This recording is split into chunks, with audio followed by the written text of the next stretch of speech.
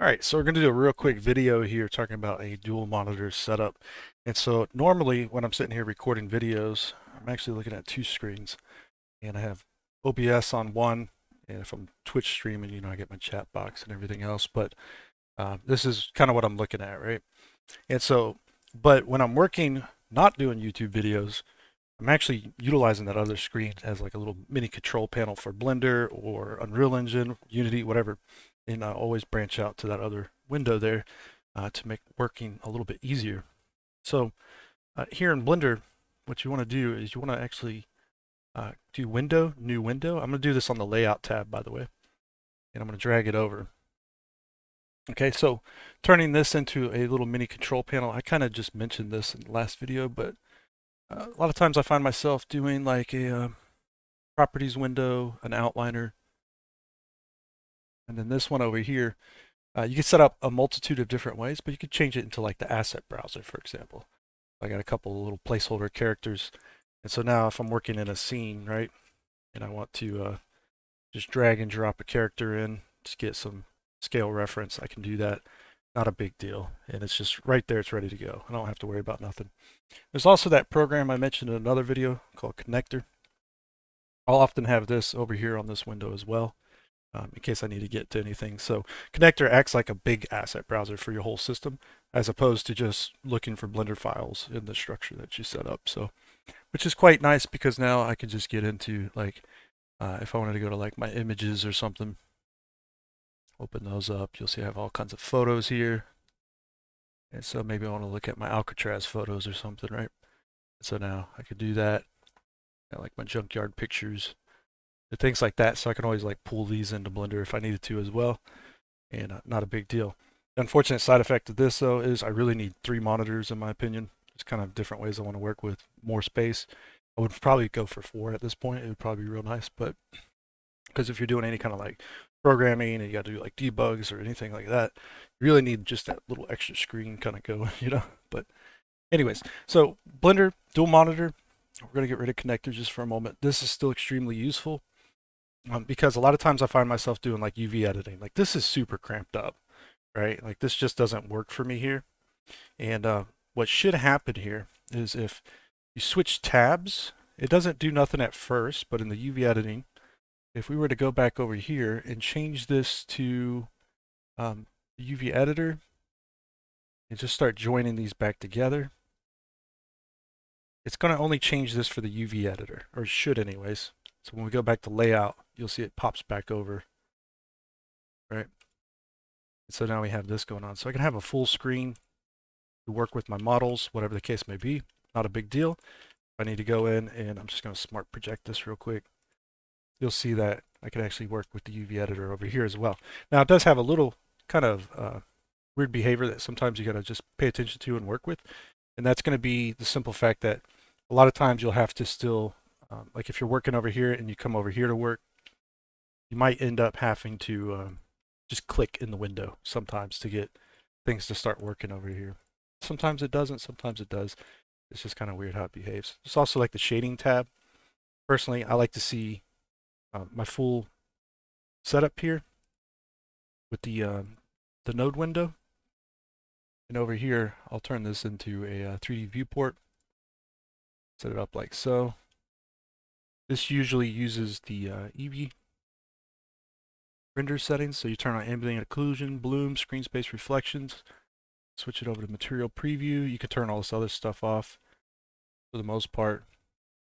And um, that's what you're going to have there. So now if I grab this guy, you'll see here, um, grab them, just click new, add a new material, and turn the uh, roughness down and metallic up. Okay, so there we go. And that starts to make sense. So the Eevee tab actually uh, change like the ambient occlusion, bump it up, do something like that maybe.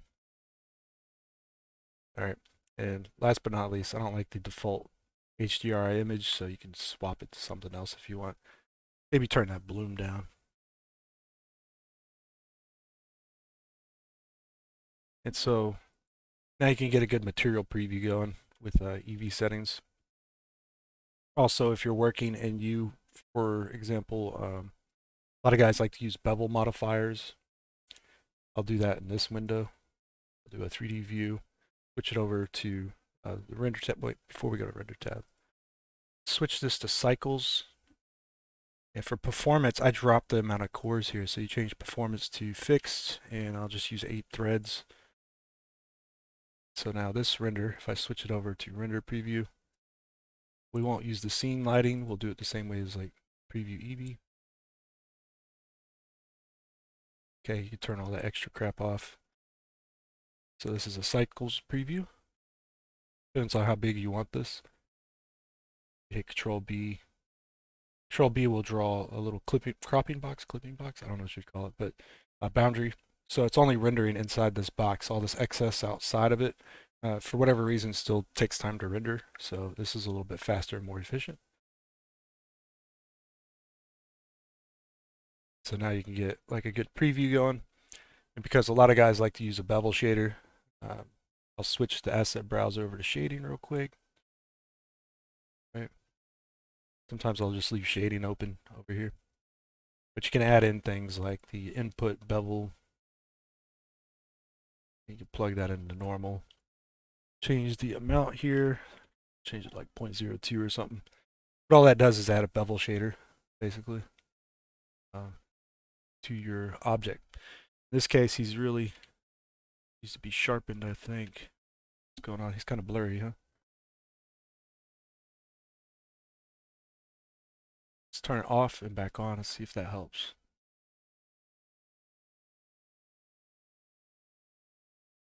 Point zero one. Uh, it's just too too much there. So like point zero zero five, maybe. Yeah. So now you get the idea. You can do this as well. as you're working in the 3D view, you know, you can make your modifications and adjustments. Oh, and one thing I want to mention is I am using an add-on called Sync UV, uh, Sync Workspaces or whatever.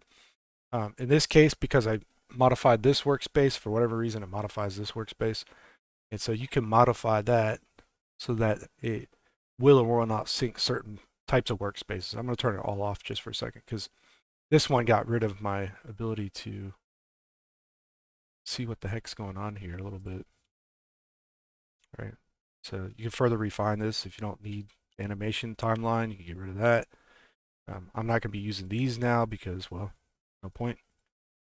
They're on the other window there. At least in this view. So now when we go over to um, shading tab, you'll see we have it set up like so. So I can work with my nodes, not worry about it. Got everything here if I need it. So you can customize every tab, basically. If you create custom tabs, you can set them up however you see fit. And so this is extremely useful um, just to get work done, right?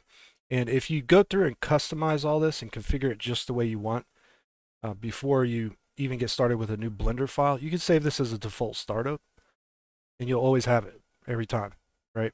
There's a reason why I don't actually do that. And um, part of me wants to, part of me doesn't. But at the same time, it's also advisable to, like in your modeling folder somewhere, you know, just have like a like a, a default setup file somewhere and um, just save that. So whenever you're out of Blender now, I was to hit Control Q, get out of it, relaunch it up. If I'm going to start a new project, a lot of times it's easy to just like get in here and just start working. But if I ever want that kind of more intrinsic setup there, I can just go and load it up and you'll see it all comes back, right? So it saves with your Blender file, which is the most important aspect there. So I don't have to worry about reconfiguring this every time.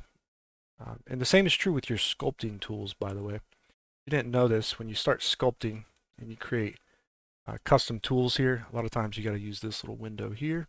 You got to duplicate them.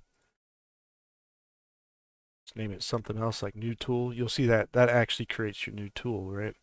When you modify it. And so when you save this Blender file somewhere, right? And let's say you had a new document open right? Like that. You want to import that new tool, you have to still append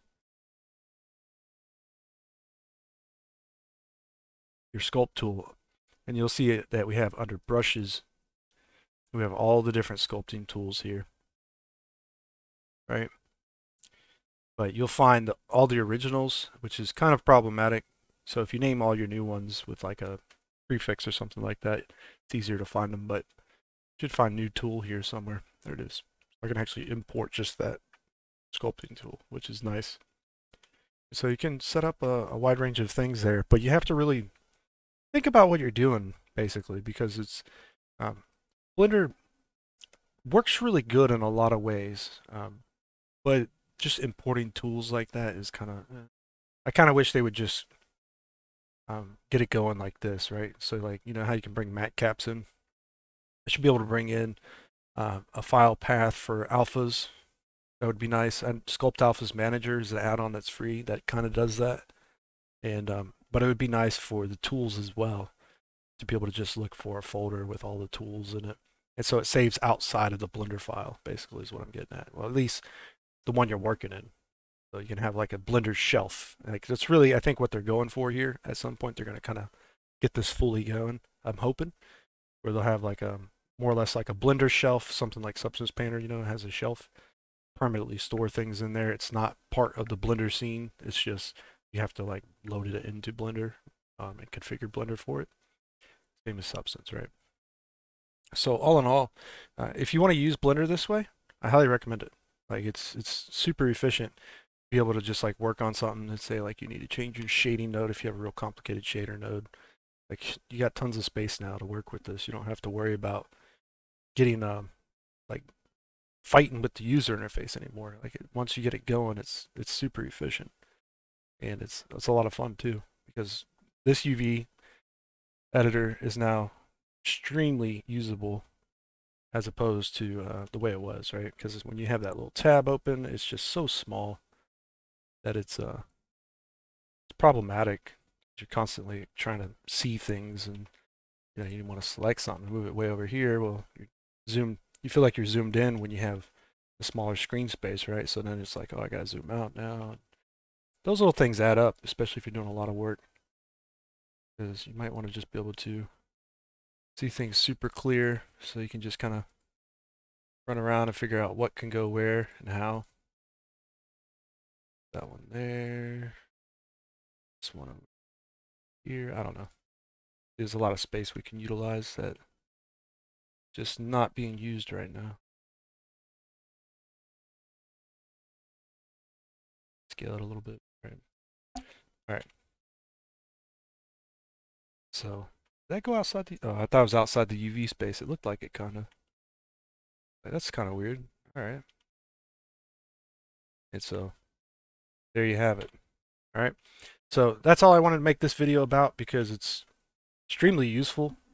You know, it, when you're trying to like do work, like you're trying to get work done, you don't want to fight with this user interface any more than you have to. So customizing it, in my opinion, is much needed, um, and really, really should think about doing that because it's as good as it is as a single user or single uh, window program. Dual monitor is always going to just free you up to uh, use it more efficiently. So keep that in mind. So now you can see we're, we're starting to have some pretty cool things going on here that we can make better use of. All right. Anyways, that's it for this video. I hope you enjoyed it, and I will check you guys out in the next one. All right. Take care.